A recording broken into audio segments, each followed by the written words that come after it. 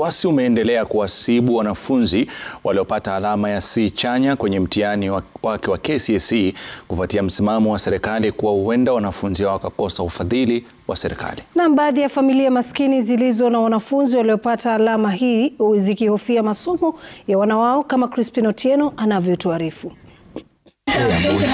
Katika kijiji cha Senta maeneo ya Bomachoge Borabu, tunakutana na Fred Singa, kijana aliyefanya kidato cha nne mwaka jana na kupata alama ya cha chanya.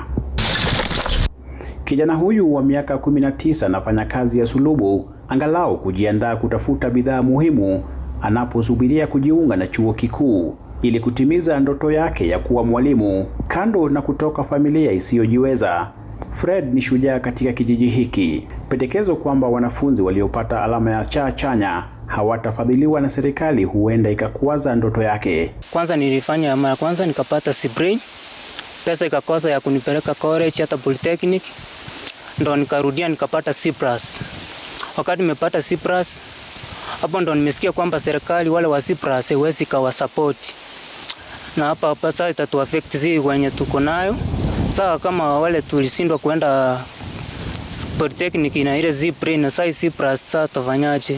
Ni hali iliyomweka mzazi wa Fred kwenye njia panda akishika tama na hatma ya mwanawe. Ya, mimi ndio mzazi wake peke yake, baba yake aliaga zamani.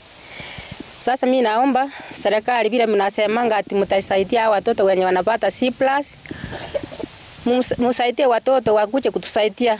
Ile tungeomba serikali masomo iwe ni ya Wakenya wote, watu maskini, watu matajiri, wote waweze kupata elimu. Fred ni miongoni mwa maelfu ya wanafunzi waliofanya kidato cha nne na kupata alama ya cha chanya. Familia yake kama vile familia zingine kote nchini zinazidi kutoa wito kwa serikali kuwakumbuka wanafunzi wanaotoka familia maskini kama njia mojawapo ya kufanikisha masomo yao katika vyuo mbalimbali nchini. Hayo yakijiri, Taasisi inayoshughulikia nafasi za vyuo vikuu inasema kwamba mpaka sasa kuna uhaba mkubwa wa fedha ambazo zinatarajiwa kukidhi mahitaji ya wanafunzi kutoka maeneo mbalimbali nchini. Ufadhili wa elimu kwa jumla ya wanafunzi laki moja ishirini na tatu elfu mia tisa sitini na tatu waliopata alama ya cha chanya kwenye mtihani wa KCSE mwaka jana inasalia kwenye njia panda kwa sasa. Crispin Otieno, runinga ya Citizen, Kisii.